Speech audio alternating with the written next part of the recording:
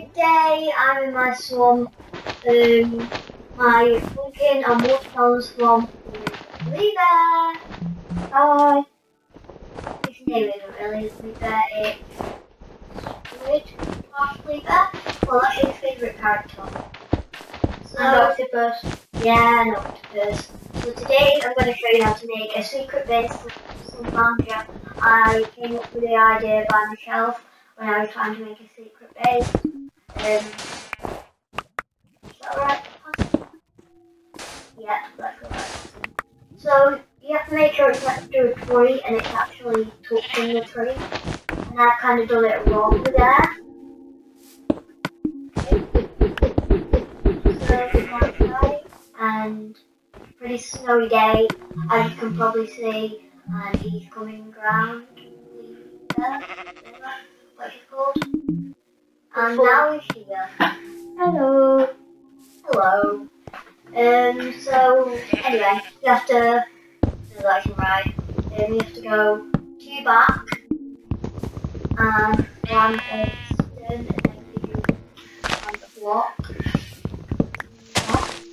and then you put the tree trunk back, and it's really simple.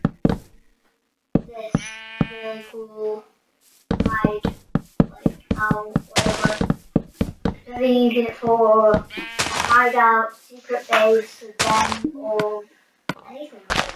It's really simple. Then you go to this leather, lever, sorry, leather, lever, um, and it shuts and closes, shuts and closes. Down. Yeah, it could be a secret place for when you go mining. You can add accessories like coffee tables and an umbrella. I'm going to add an umbrella. I just planted the fences and I'm going to, clear up this wood face.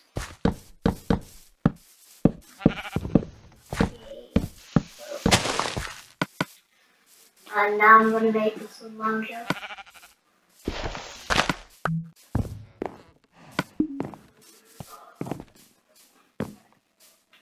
I'm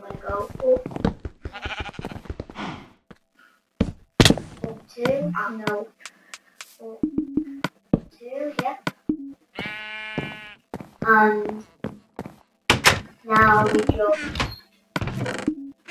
add the colours onto it like you would. Um, so I'm to go white, red, white, red, white, red. Oh god, it's night time.